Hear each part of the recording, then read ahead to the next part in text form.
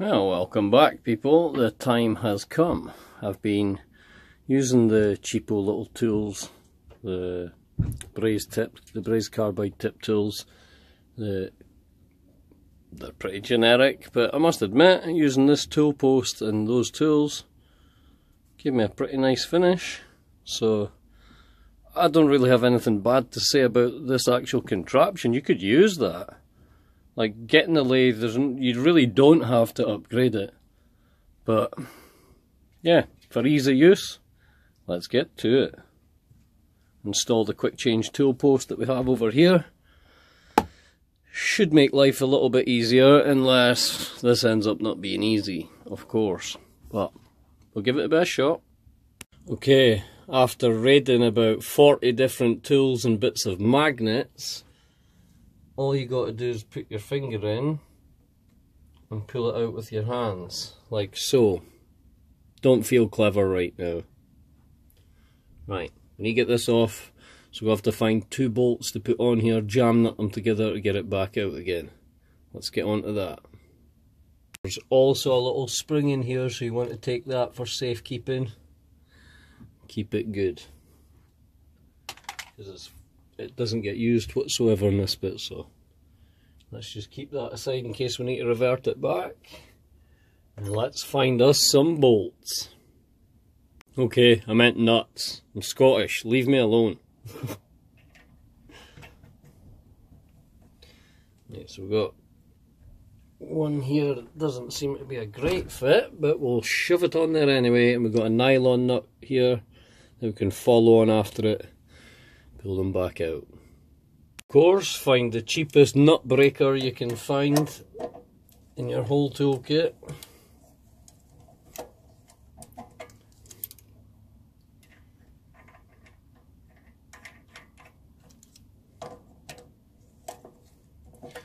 Now they're together.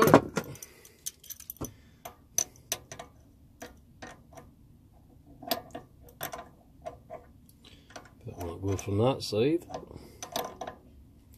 Right, there's one. There's two.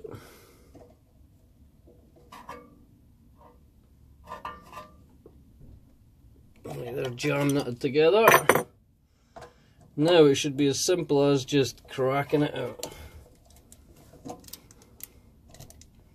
Almost easy enough to do it by hand.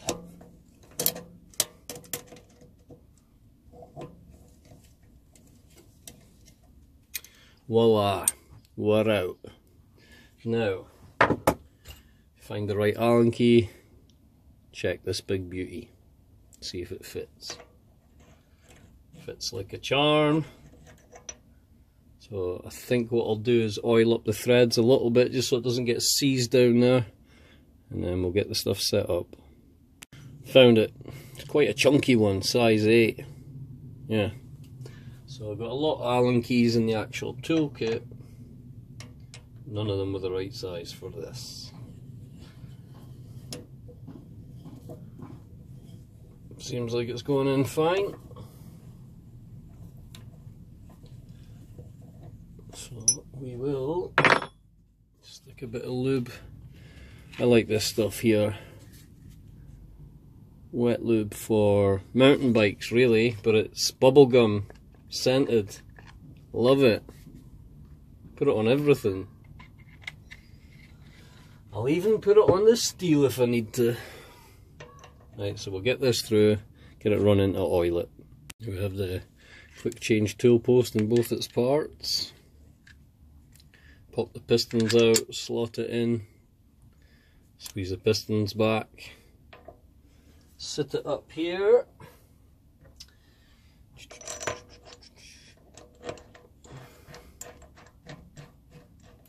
Tighten this sucker down probably to find it won't tighten all the way. No. It's actually fine.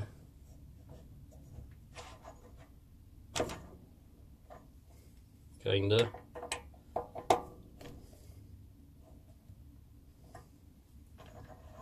There we go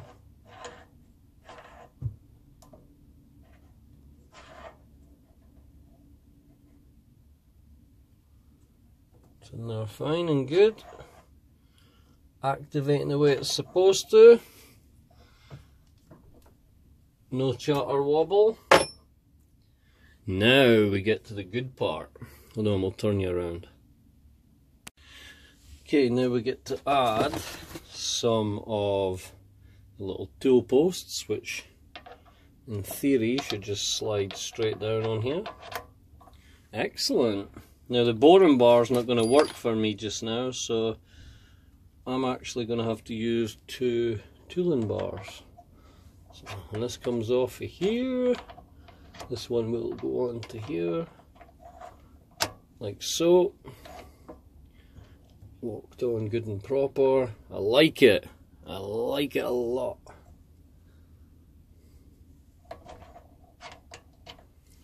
Yeah, I actually thought the quick change tool post holder you could put a bit on either side and have four and it was just easy to turn and use, but yeah, after getting the lathe you soon see why that becomes apparent that's impossible. End up gouging your wrists out trying to reach over your work. Right. We're in, but it just doesn't... Oh, I see these bits here so it can go all the way down. Right, I like it. Now, let's get the carbide inserts out and see what we can do with them. Okay, so we have our tool holders, we have the little set nuts at the top, backed out all the way. A couple of carbides in here, so I don't know, I can't use the boring bar at the minute in the proper boring bar holder so.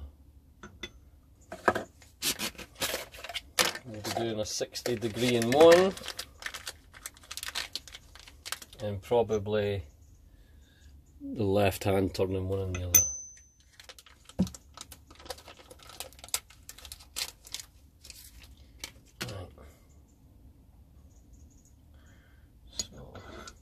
Oh, they fit snug as a bug in a rug.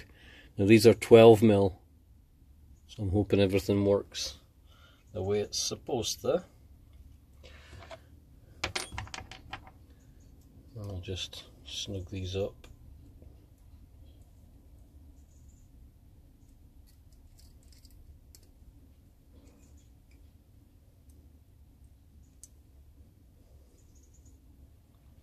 For anybody interested, there's the number. This is the 60 degree. Uh, we'll go for this one. Don't know how far out or how far in to set them, but I can do all that once it's on the machine. Yeah, very simple, very straightforward. Just always make sure that you have your carbide tip at the same side the nut is and not down one of the sides.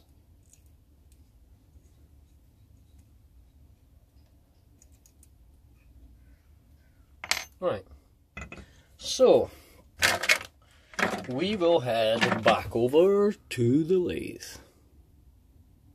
Now it should just be a simple case. Transferring it over. Bring it back.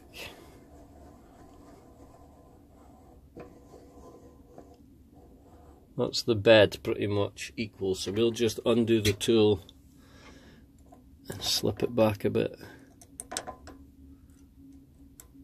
I think you want the tip sticking out as least as possible the least amount of chatter.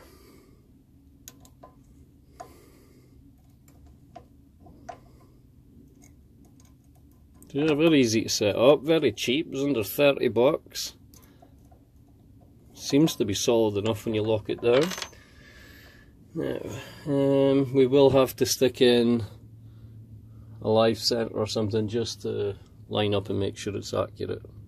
Okay, so now need to bring over the whole slide and match it up. Ooh, that one's way high. Please don't tell me I got the wrong set of tools.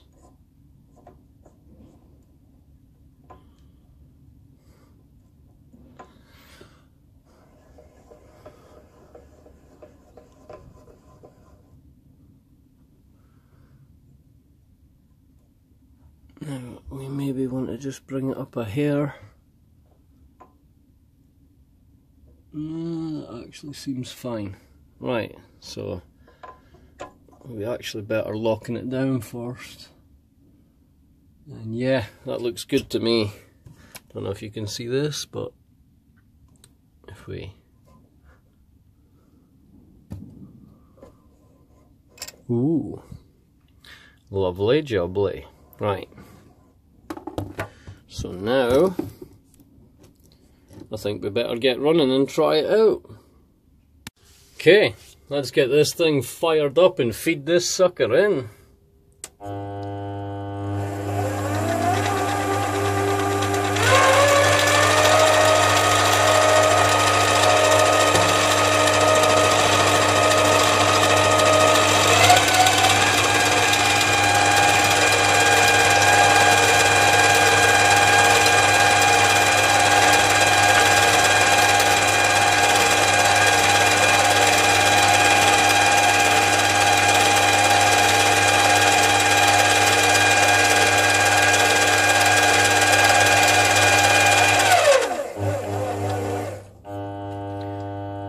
Not bad. Feed it in another little bit.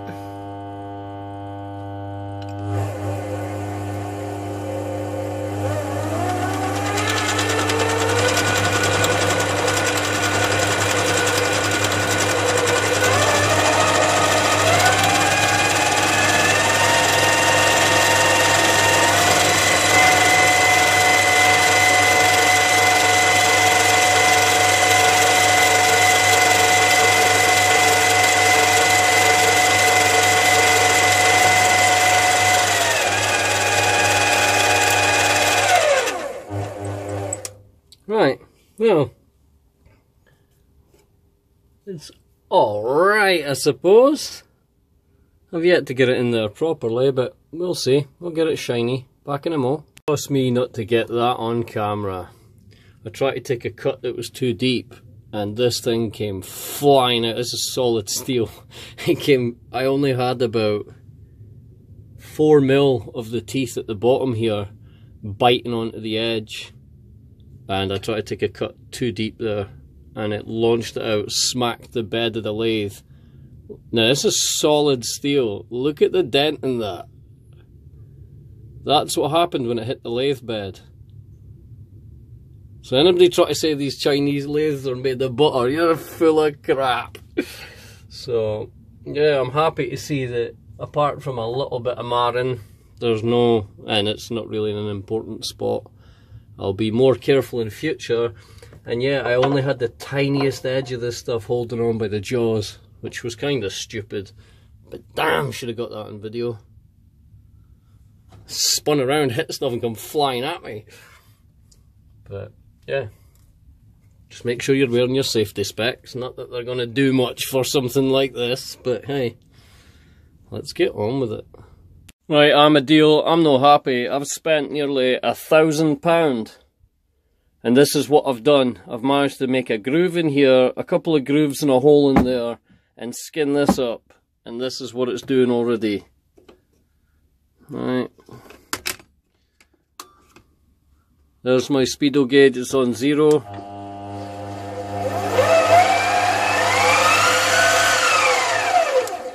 Piece of crap machine starting to fall apart already and this is all the work I've done. Rage mode is activating, my friend. Right, so I got done what I needed done on this. It's fine for just now. And the quick change tool post is actually quite a peach. Very, very happy with that. Cheap Chinese 30 bucks and does the job perfectly. Now, on to the running fault which should be another video by itself. But hey.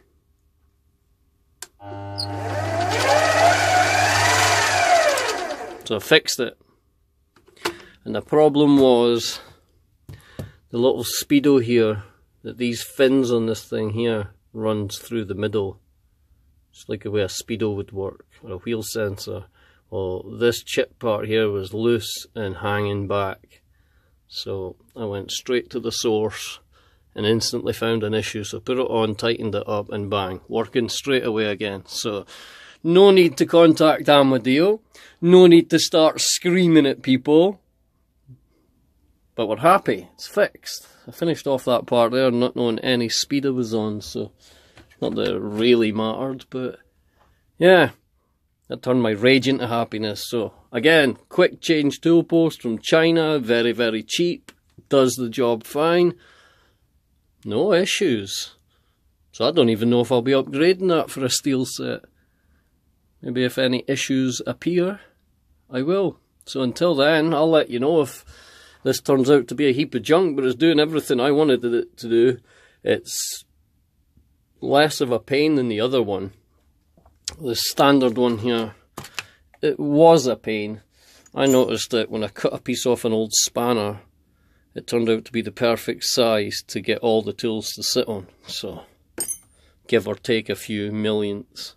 So yeah, if you're in the market to get a Chinese tool post, you've seen how it comes apart. You just undo the bit off the top, put a couple of nuts on, squeeze them together, take the bottom nut to take it off. Ah, and let's just stick it back together again.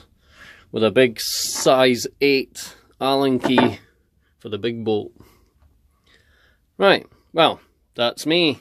Now I can go in and be happy rather than be crying. Bye for now. So now we'll leave you with some turning.